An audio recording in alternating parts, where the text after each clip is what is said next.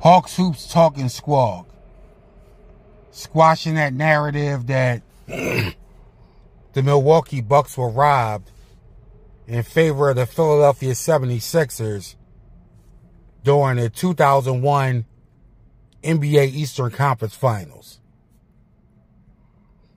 You know, for over the past 20 some years, we done heard that the Bucks were robbed because the league didn't want to see a small market team from Milwaukee representing the East in the NBA Finals against the defending champion Los Angeles Lakers.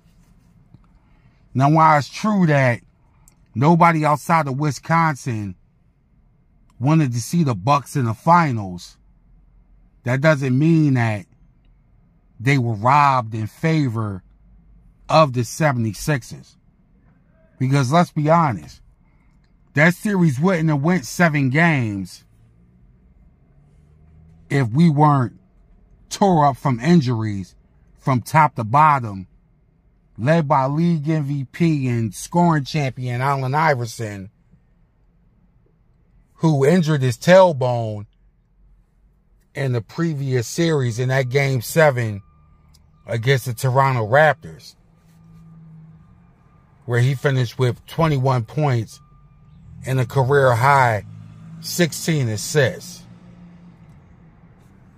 You know, and that's another series that wouldn't have went seven games had we not been banged up. we had beat Toronto and Milwaukee in five games had we had a healthier team. Now, I get it that during that time of year, no team is 100% and free of injuries.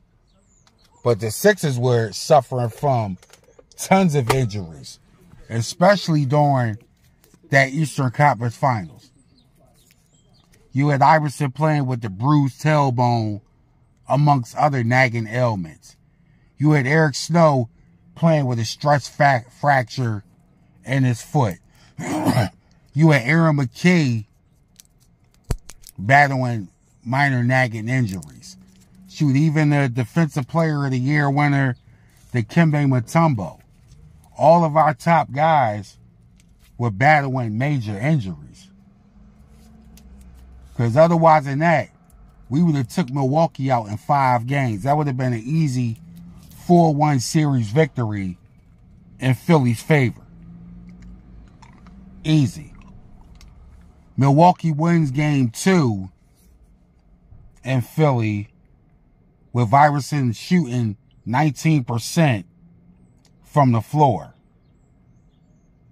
Then they win game three in Milwaukee with Iverson resting back in a hotel.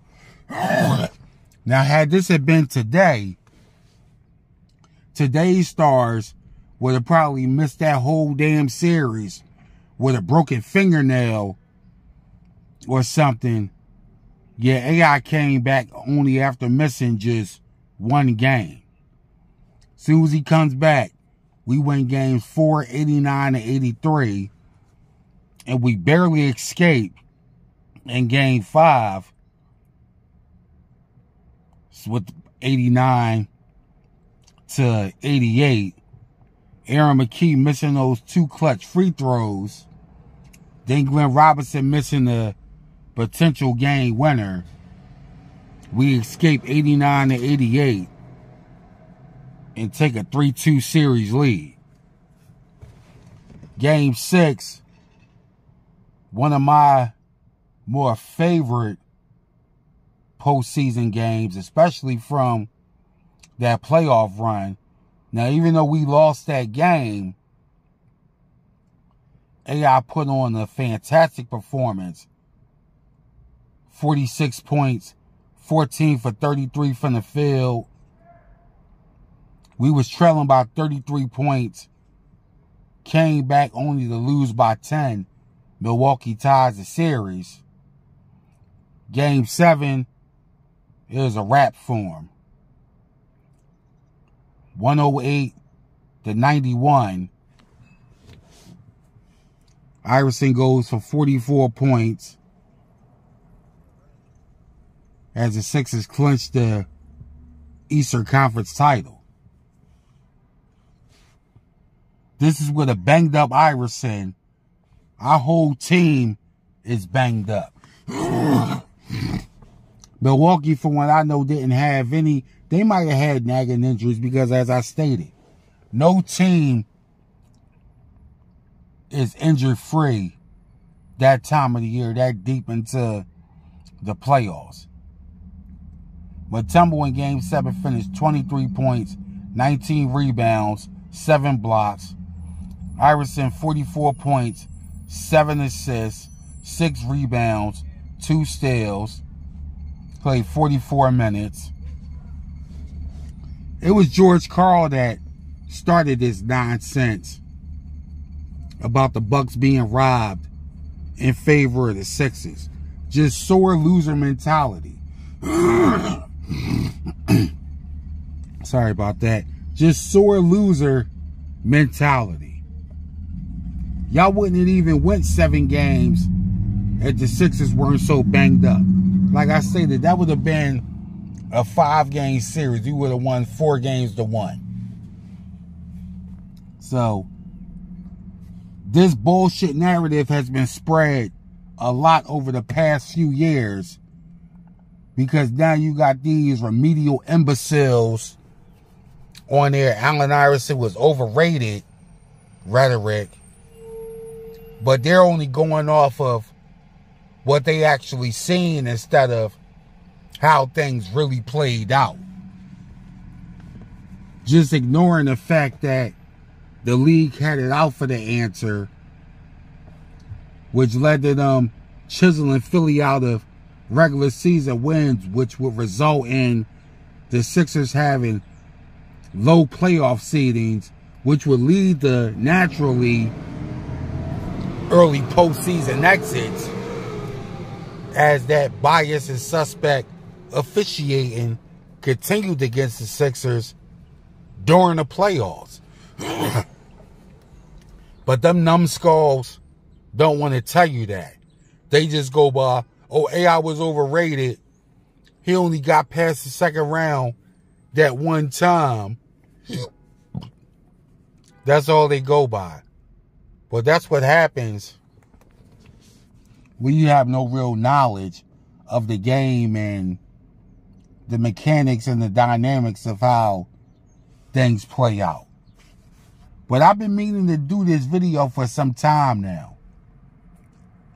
You know, I've been meaning to do it for some time because not too long ago, some clown on social media was on his AI3 was overrated rampage and stated how the Sixers were favored in over the Bucks in 2001 because the league didn't want to see a small market team, and that by AI being the reigning MVP and a marquee player, that that would draw way more ratings, which again is true.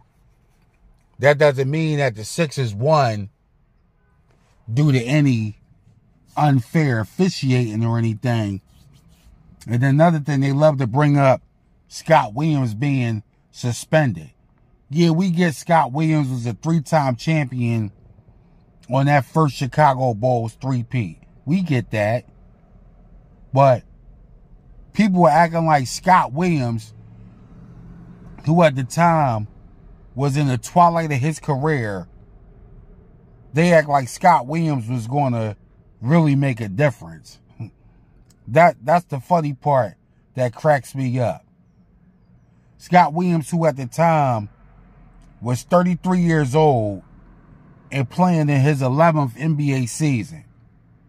Scott Williams, who that season only averaged six points a game and five rebounds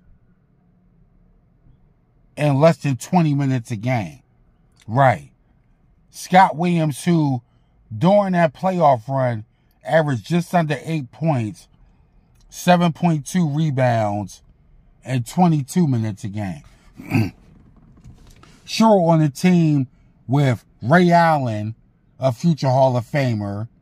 Sam Cassell, who had won two championships with the Clutch City Houston Rockets a few years earlier. Glenn Big Dog Robinson, who was in the prime of his career. Plus great role players like Tim Thomas, Jason Caffey, another former Chicago Bulls champion. Gritty players like Darvin Ham, Lindsey Hunter. Yeah, with all those players, yeah, Scott Williams was going to make the difference in y'all losing game seven. Right. By 17 points. People crack me up with that. And that's no disrespect to Scott Williams, who is a former Sixer, spent six seasons with the 76ers, was AI's teammate his first two seasons and some change in Philly. But people crack me up. They make up all types of bullshit to fit a narrative. A lot of these younger fans don't like Iverson. Most of them are mad because they missed out on his career because they were too young. But hey, that's why you have YouTube videos. You go on in and pull up all of AI's best games. Anybody with a brain that knows anything about the game of basketball is going to tell you that, if anything, Allen Iverson is underrated. And if you see my video on the raw deal of Allen Iverson's career, along with my most recent video about AI's best chance to win a championship with the 76ers, you'll see that he got a raw deal from the league and that he should have way more playoff success and possibly a championship ring. But I just had to squash that narrative about the Bucks being robbed when they need to be thanking the Sixers injuries for that series even going seven games. And that's no disrespect to that Bucks team because that was a pretty good Milwaukee team. Sure, they don't have nothing on the Giannis Antetokounmpo Bucks teams of the past few years. They don't have nothing on the Kareem and Oscar Robertson, Bobby Dandridge Bucks teams of the early to mid 1970s. And hell, they're not even on par with the Marques Johnson, Sidney Moncrief, Bob Lanier, Junior Bridgeman, Don Nelson coach Milwaukee Bucks teams of the 1980s. But they would be in that fourth tier of Bucks teams.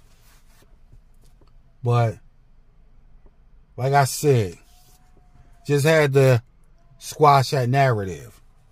That Sixers team wins 4 1 if we weren't so banged up. And even with a banged up Sixer team, Iris is still had one of the best, probably the best playoff series of his NBA career. Which is sad because he should have way more playoff success. Iverson averaged 30.5 points, just under five assists, just under, I mean, I'm sorry, 30.5 points, just under seven assists, just under five rebounds, two steals, and played 46 minutes a game in that series. This is with a busted tailbone amongst all the other nagging injuries. And only played in six of the seven games. So one of those Bucks out of one of those Bucks three wins came with AI resting back in the hotel in Milwaukee. So had to squash that narrative anyway. This was Hawke's Hoops Talking Squawk.